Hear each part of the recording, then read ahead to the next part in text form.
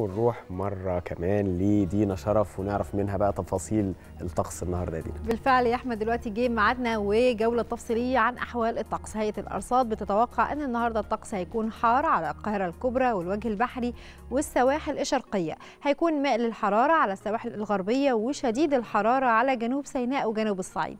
بالليل الجو هيكون معتدل على السواحل الشمالية الشرقية والغربية والقاهرة الكبرى ومحافظات الوجه البحري ووسط سيناء. هيكون الطقس لطيف على محافظات شمال وجنوب الصعيد وجنوب سيناء.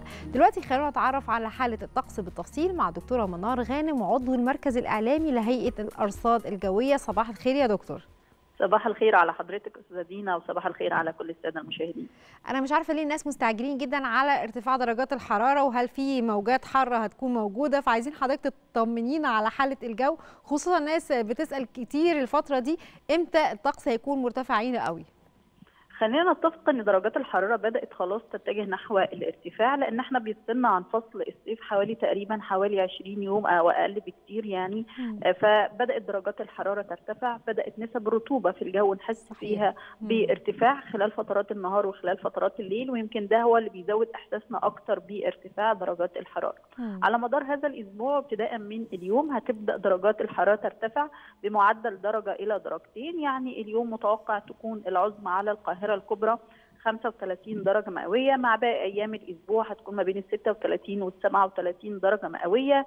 يعني اليوم الأجواء هتكون حارة. باقي أيام الأسبوع هتكون ما بين حارة إلى شديدة الحرارة. في زيادة لفترات سطوع أشعة الشمس خلال فترات النهار وده عامل بيخلينا نحس أكتر كمان بارتفاع درجات الحرارة. صحيح. والتعرض المباشر لأشعة الشمس بيزود أكتر إحساسنا. بارتفاع درجات الحرارة. دايما يخلينا نحس بقيم درجات حرارة أعلى من اللي إحنا بنقولها. يعني درجة الحرارة اللي دايما بنقولها هي درجة الحرارة المقاسه في الظل. لكن التعرض المباشر لأشعة الشمس هيخلينا نحس بقيم درجات حرارة أعلى من اللي إحنا دايما بنقولها بالإضافة كمان ارتفاع نسب الرطوبة اللي بدأنا نشعر بيه وطبعا ما تتقارنش بالرطوبة اللي هنشعر بها في فصل الصيف لكن بدأت ترتفع صحيح. فالأجواء خلال فترات النهار أجواء حارة مم. على القاهرة الكبرى محافظات الوجه البحري محافظات سواحلنا الشمالية ودي أغلب المناطق المطلة على البحر المتوسط مم. أجواء شديدة الحرارة على محافظات جنوب البلاد شمال وجنوب الصعيد خلال فترات النهار. خلال فترات الليل الأجواء معتدلة تماما. يمكن هي نسب الرطوبه كمان اللي هتخلينا نحس بالأجواء المعتدلة خلال فترات الليل على أغلب مناطق الجمهورية. طيب. بالإضافة كمان إن إحنا خلال فترات المساء ومع ساعات المغرب بنلاحظ وجود نشاط لرياح على بعض بس كنت أسأل حضرتك عليها في رياح هتلطف الجو شوية بالليل؟ هو نشاط نسبي للرياح هو اللي بيساعد أكتر على تلطيف الأجواء خلال ساعات الليل غياب أشعة الشمس ونشاط الرياح لكن هو نشاط نسبي يعني سرعات رياح ما بين ال 30 وال 35 كيلومتر على الساعة وهو نشاط يعني نقدر نقول نسبي أو خفيف للرياح هو ده اللي هيساعدنا بعض الشيء من الإحساس بالاجواء المعتدلة الربيعية خلال فترة المساء ومع ساعات المغرب. مم. أحيانا بتتكون شبورة مائية على الطرق الزراعية والسريعة والقريبة من ده يمكن مع ارتفاع نسبة الرطوبة يمكن حضرتك بتقولي إحنا برضو في ارتفاع طفيف في نسبة الرطوبة الفترة دي.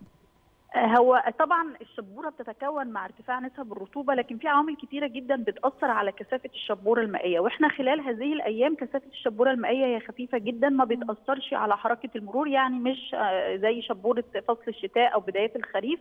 هي شبورة مائية الشبوره اللي هي بتبقى فصل الربيع أو فصل الصيف شبورة مائية خفيفة. بسبب طبعا عوامل ثانية نشاط الرياح اللي بنلاحظه خلال فترة المساء آه كمان ارتفاع درجات الحرارة خلال ساعات الليل. فده ما بيساعدش على تكون الشبورة المائية كثيفة. لكن في شبورة مائية بتظهر خفيفة على بعض الطرق الزراعية طبعا والسريعة والقريبة من المسطحات المائية خاصة الطرق القريبة من المسطحات المائية والقريبة من المزروعات بتأثر على الرؤية الأفقية أحيانا لكنها عشان هي شبورة مائية خفيفة بتتلاشى فور سطوع أشعة الشمس.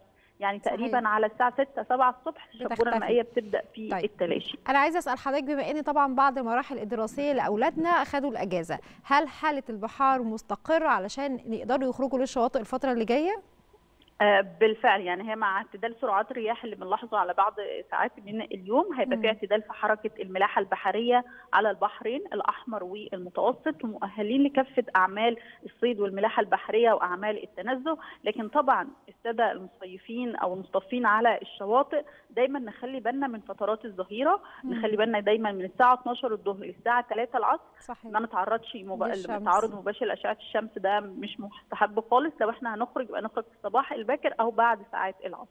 طيب السؤال الأخير يمكن حضرتك قلتي إن في ارتفاع في درجات الحرارة خلال اليومين الجايين. بعد كده من يوم الثلاث هتبدأ تنخفض تاني درجتين ثلاثة اللي ارتفعوا خلال اليومين اللي فات اللي جايين؟ لا هو إحنا على مدار هذا الأسبوع متوسط درجات الحرارة ما بين ال 35 وال 36 يمكن كمان مع نهايات الأسبوع هترتفع وتوصل لل 37 درجة مئوية فاحنا مكملين في ارتفاع درجات الحرارة على مدار هذا الأسبوع كله إن شاء الله. اللي كانوا مستعجلين ما يلاقوش الجو بيبقى حر خلاص.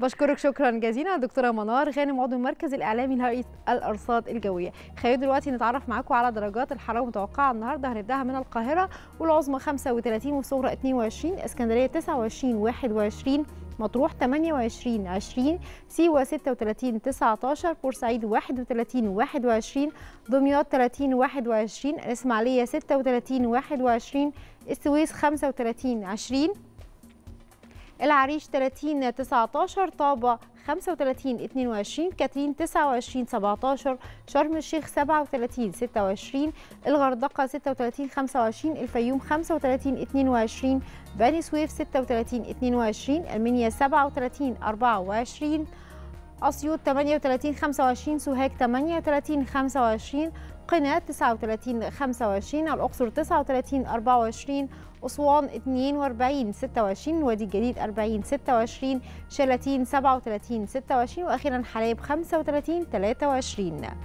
طمنا حضراتكم على حالة الجو بنتاكد عليكم مرة تانية من الساعة 12 للساعة 3 نحاول ما نتعرضش لأشعة الشمس المباشرة ونشرب كميات وفيرة من المية خلال فترات اليوم وخلال الجو الحر. هرجع مرة تانية لأحمد وهدير عشان نكمل معاكم فقرات يا مصر. شكرا, شكرا لك يا دينا.